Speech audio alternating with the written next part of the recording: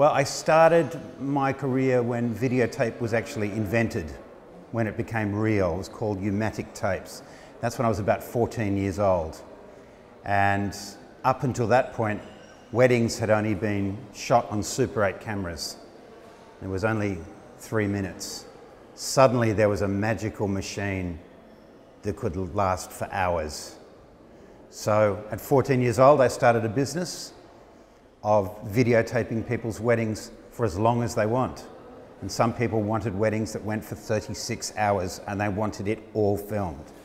I learned to direct because in the early days, the bride would come down the aisle and I'd say,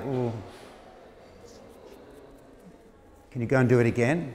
And they'd run back up again and they'd walk all the way down. I'd say to the groom, and make them go up again. I could make the bride and groom go up and down the aisle 20 times.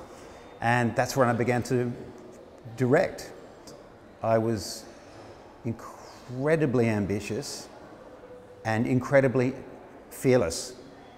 I mean, I didn't care. The amount of times I had doors slammed in my face and people telling me to go away, I'd just come back. And I'd come back and I'd come back and I'd come back.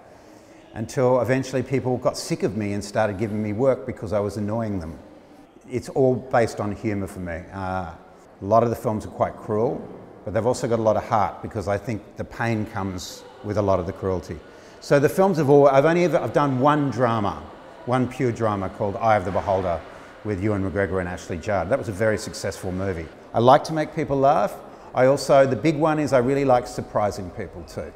You know, the thing I love about this job more than anything else is you get to dream particularly as a writer director, the most satisfying part of the whole process for me comes from writing because I have a blank page on my computer and I can write anything.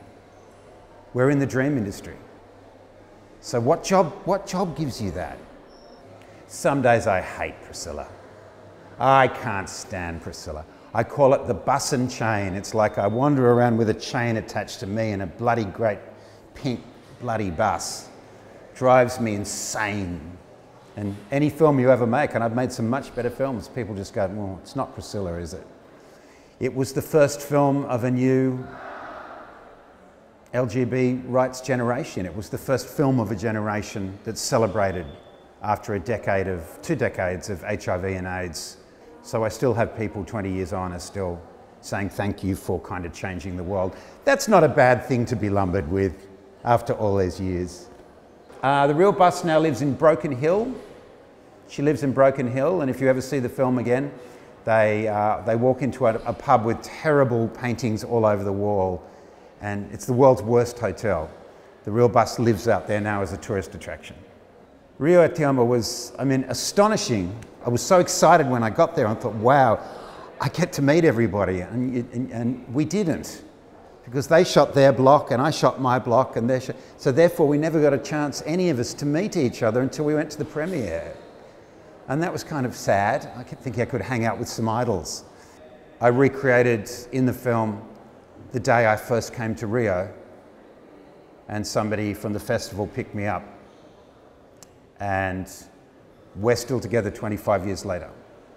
Look, we are going into the golden age of television again, and that is I've never been interested in television, uh, but now they're giving you so much freedom within television. I mean, it's really hard trying to cram, you know, we work all our lives to make 95 minutes.